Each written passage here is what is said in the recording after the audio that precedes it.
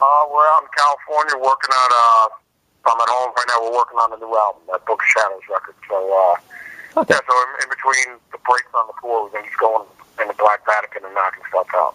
Very cool. I heard you were doing Book of Shadows Volume 2. Is that because it's, the original's almost 20 years old? Uh, yeah, I mean, I, I mean, I couldn't believe it was 20 years already, but I, it, you know, it doesn't seem that long ago. But uh, but yeah, it, it'll be cool. Looking forward to it, man. Would you say it kind of stems from your Unblackened um, tour when you were relearning all the old songs? Yeah, without, I mean, without a doubt. As much as I love doing the heavy stuff, always, you know, what I mean, but you know, then again, when I mean, we're going with the boss, we do No More Tears, and then we do Miracle Man, and we do Mama I'm Coming Home. You know, so I mean, it's always been around. Th- Has the band had to adapt much with Dario now in the band after Nick left after 15 years? I mean, I mean, for me, it's almost kind of like Neil Young and Crazy Horse type of situation. You know what I mean? So it's just, uh, I mean, as far as the guys go in the, in the band, you know what I mean? But, uh, yeah, I mean, it's, it's, it's a fraternity and a brotherhood for sure. But I mean, you know, 'cause like I always say, the guys don't, don't. It's just, you always have a home here. It's just a matter of, you know, guys coming and going, you know, if they're, if they're doing other things at the time or jamming with other people. I mean, we still talk and like that. So, uh, but yeah, Dario, Dario's amazing, man. I mean, he plays the keys, he shreds on the guitar, uh, you know, sings, ama- you know, he cooks an amazing chicken piccata Nice. as well. So, uh, no, he's an unstoppable rebel force. Very cool. Has he um, challenged you much as a guitarist?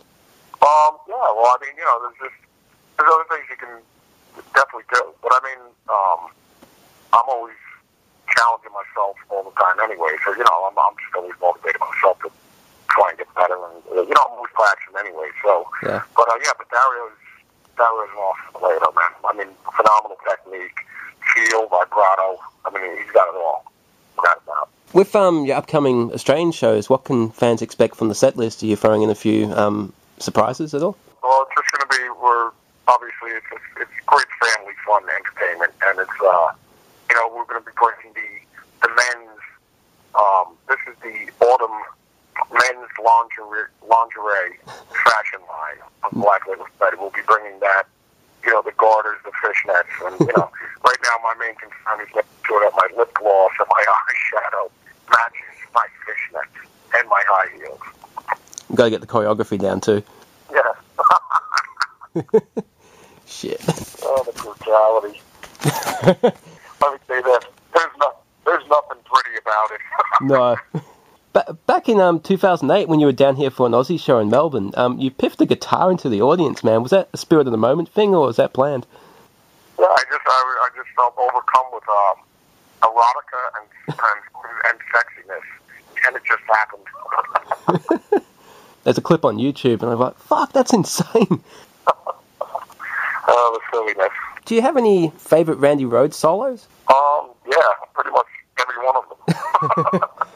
I mean, I, we were, me and JD were just talking about it the other day. I mean, all his solos, because I'm doing solos right now on the, on the record, we're working on that as well, but I mean, it's just, uh, you know, when you compose, they're composed. Yeah. You know what I mean? Yeah. You, you, you, just like you write lyrics, you write a melody for the song. I mean, it's just like, like Hotel California or Stairway to Heaven. Yep. It's, you know, it's got its parts.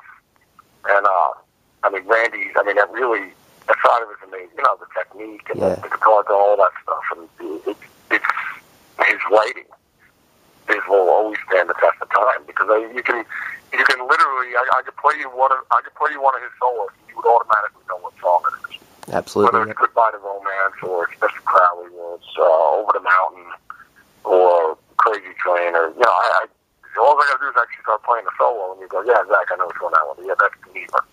Or, you know, uh, that, that's SATL. Yeah, I mean, as soon as I start playing the solo, you would know. I mean, that's, that's Randy's strength.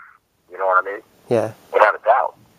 How's your um health been since when you had blood clots in 2009? Well, I still got to take uh, medicine every day, man. Wow. You know, you know, just blood thinners every day. Yeah. rest of my life, no drinking. And the booze went out the window right there. That, that's when the pub closed. Yep. The doctor, the doctor was like, I said, doctor, why you have to stop? I mean, do I have to chill on the drinking? He goes, well, I mean, you, you want to keep drinking the way you tell me you drink? He goes, well, Zakk, I hope you find whatever pub it is that you enjoy. I hope, uh, but whatever Hooters you're going to be going to the watch Monday Night Football with the guys. I hope it's a good one because that'll be the last You'll. I was like, oh, that kind of sucks. I, you know, enjoy drinking. but I, do, I, I do a lot of, I sniff a lot of glue. That kind of waste the booze. Has it given you a bit of a fear of aging now that you're almost 50? No, not at all. No? I mean, you know, you still do your same thing and you, you whoop ass every day and you always have a good time, man. What's the future hold for Black Label Society? Um, more men's lingerie and trying to get used to walking in one high heels Oh, without God. breaking. Oh, God, it's a horrible sight, man.